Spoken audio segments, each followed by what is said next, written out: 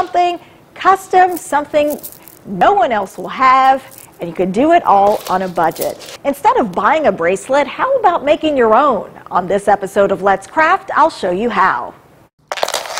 You'll need three things for this project, memory wire, needle nose pliers, and your favorite beads.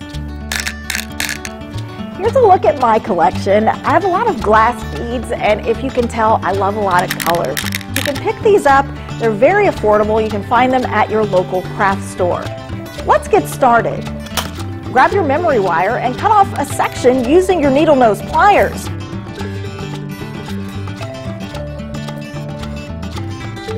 Bend one end of the wire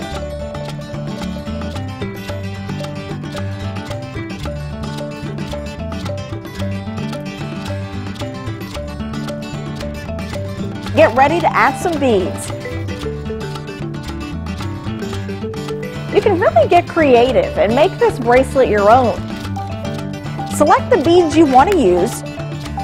You can pick a pattern if you want. String your beads one by one on the wire.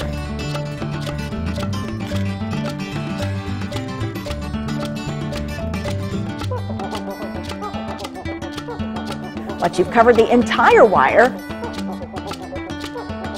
grab your needle nose pliers and bend the remaining end. Now your bracelet is ready to go. If you like this story, be sure to check out some of the other great projects in my series. I'm adding new content weekly. Hope you'll stay tuned and check it out. On this episode of Let's Craft, I'm Shayla Reeves.